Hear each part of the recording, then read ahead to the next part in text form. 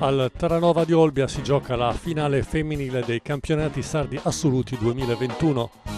L'ultima edizione si giocò nel 2019 al margine rosso di Quartu. Vinse Barbara De Solis, oggi ventenne e numero 1299 VTA. Torna in finale per difendere il titolo, ma per farlo dovrà affrontare sua sorella Marcella, 16 anni, che due anni fa si fermò in semifinale battuta da Gaia Schirru.